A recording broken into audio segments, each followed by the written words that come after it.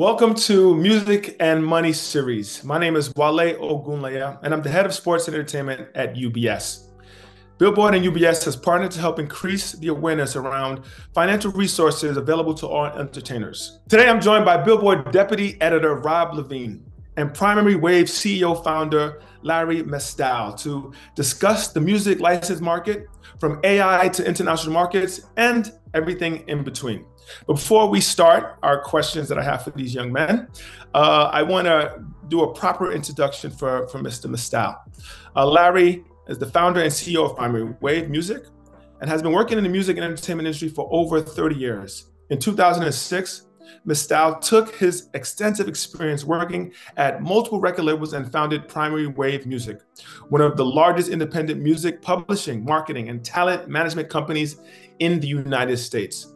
Private Wave controls over 50,000 songs from catalogs of legendary artists such as Bob Marley, Stevie Nicks, The Four Seasons, Whitney Houston, James Brown. I can continue to go on and on and on. Obviously, he's a very important man in this industry. So, with that being said, gentlemen, thank you for being here with me. Thank you, Alec. Good to be here. Thank you. Great. So, I'll dive right in. Uh, for for for you, and we'll start with you, if you don't mind, Rob, on this question. Sure. Uh, what are the emerging trends and market disruptors that are likely to uh, shape the music uh, licensing market in 2024? As far as disruptions, you know, the by definition, I guess you don't see them coming always. One of the things we're seeing though is, you know, the streaming market is growing, especially internationally, and that makes it harder, a little harder, not impossible, but a little harder to make predictions. You have a fairly good idea what's going to be popular over time in the US and the UK and Europe. But you've got a lot of people in Africa streaming music now, a big audience in India. Is that going to increase the value of Western music? Are people there going to listen to more music from those countries? We have an idea, but we don't totally know. I think that's going to be a big factor. Next question, I think I'll, give to to to you, Larry. Um, you know, we are at UBS, so again, you know, we got high high interest rates, and if we want to talk about you know microeconomics, um, there has been a speculation that, that that rising interest rates would negatively impact valuations. Have you seen that? First of all, let me just finish what Rob was saying. Mm-hmm. Uh, because we are very, very bullish on emerging markets. We just bought a company, Times Music, in India.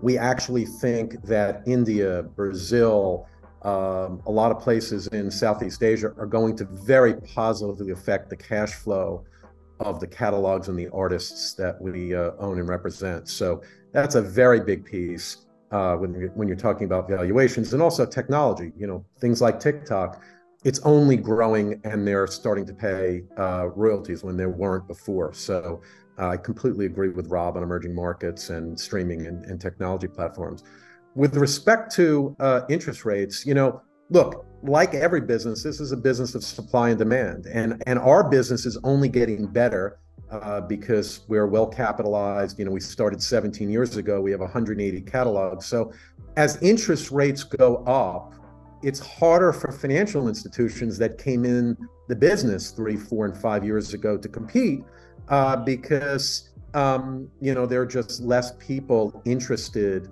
um, or less financial institutions interested uh, as as rates go up because um, you know giving pricing uh, it's easier to put your money in a in a treasury bill than it is uh, to to pay prices that compete with uh, firms like us that have been around uh, a while. You know, a financial institution has to pay significantly more than I do uh, to get an artist's catalog because they have no infrastructure. They have no history in working with artists. They have no marketing teams, branding teams, digital strategy teams. So artists, you know, are very smart. They, you know, while money is important in a transaction, partnership, um, you know, maintaining legacy and growing uh, an artist's uh, value, cash flow, and and um, and legacy is also very important. So um, you know, interest rates are certainly affecting valuations. Yeah, and I think I think the next one, on, uh, if we're going to talk about negative impact on valuations,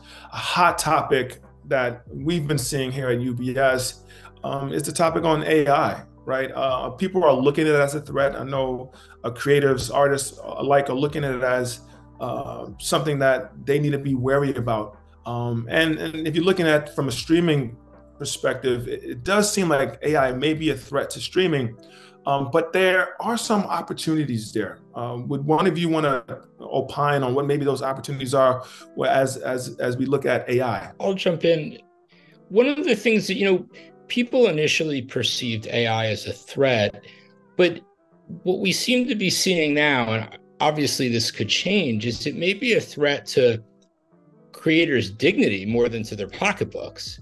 You know, if you're Drake, you might be reasonably offended by the idea that someone's imitating your voice. But that could be something that you disdain artistically, but doesn't have a big negative effect financially. Mm-hmm. Financially, this is looking more and more like it's going to be another great licensing opportunity. For one thing, if you want to train an AI on a body of music, you are going to have to license the song rights and the recording rights. And also, most likely, a number, depending on what jurisdiction you're in, a number of other rights like likeness rights. I'm going to set Larry up for this because he was a pioneer in terms of licensing as many rights as are available. Because if you only have some rights, you can only do some of that transaction. The more rights you have, the more valuable the catalog is. You know, people were afraid of Napster. Uh, the record industry fought a digital revolution. AI is an opportunity, and AI is an opportunity, uh, you know, for further expansion in the business. We're very excited about it.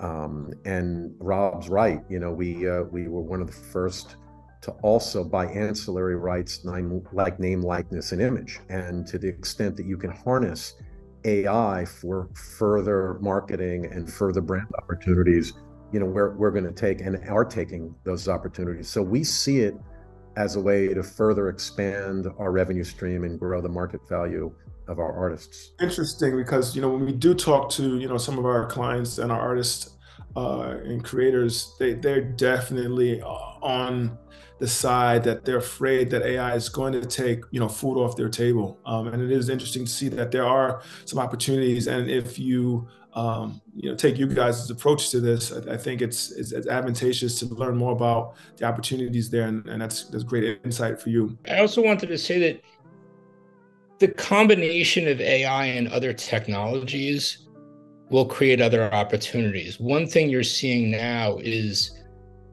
touring like business for legacy acts. For example, the ABBA show in London is they have quote unquote avatars. That's not AI, but it is a show that uses likeness rights, recording rights, publishing rights. And you're seeing a lot of different kinds of show, different kinds of shows. The Beatles Love Show in Vegas, other Cirque du Soleil shows.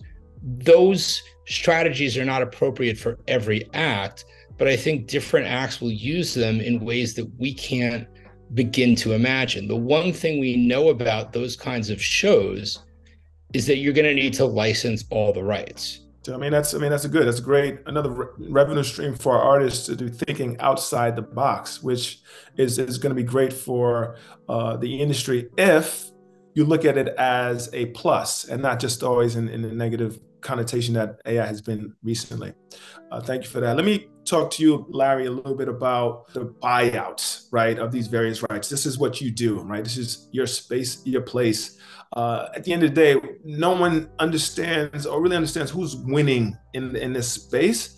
Maybe you can tell us who's winning in that. But more importantly, too, for for our, our viewers, they want to know what role does marketing play in helping yeah. to uh, get you know bigger payouts yeah. uh, for the rights? Sure. Well, let's let's look at this in two different phases. First, um, in that regard, when you say who's winning, um, you know, from our perspective and our artist perspective, we do deals with both the artist wins and primary wave wins because we partner with artists. We almost never buy out 100%. We're looking to buy 50% or 60% and actually invest in a partnership.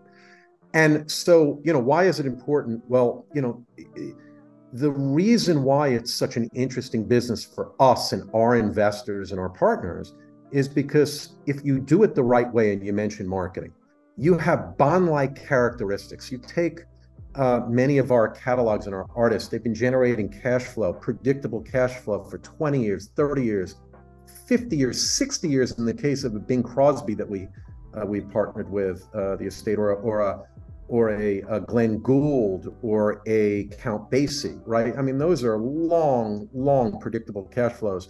You know, more recently, you know, Prince, uh, Talking Heads, the Doors that we've partnered with. Um, you know, those are 30 and 40 years worth of cash flows, very predictable. But if you do what we do and you have an infrastructure, and most companies don't, most of our competitors do not, but we have, you know, 16 digital strategy uh, people that do playlist pitching. We build our artist websites, we build their e-commerce sites. We have eight brand people. We have marketing teams. We have a content creation team. We're cre- we we've got 35 different biographical films documentaries, Broadway shows in the pipeline right now. If you add marketing, and I view that as marketing, I don't view synchronization as marketing. Synchronization is licensing. Everybody does licensing. What separates us and what separates your question about marketing and adding value is having that infrastructure to be able to generate new revenue streams. So you can take these bond like characteristics of long, predictable cash flows and turn them into equity returns if you work hard and you create these new revenue streams. You know, mm-hmm. there's very limited risk when you're talking about long lived assets. They're uncorrelated to the market. They get great tax treatment, right? Because you get capital returns. Um, um, and you know, look at what Rob just said about streaming, emerging markets, et cetera.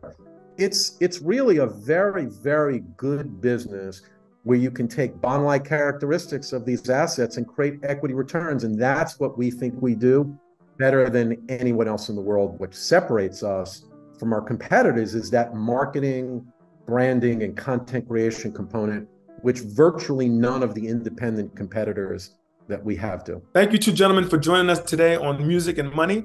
Obviously, me sitting in this Zoom with both of you has been uh, very informative, and I'm sure our creators and artists and clients alike uh, appreciated the time and the information you shared with us. Thank you guys. Well, pleasure meeting you. Same, same. Hope I see you again. Rob. Good seeing you Thanks, too. Larry.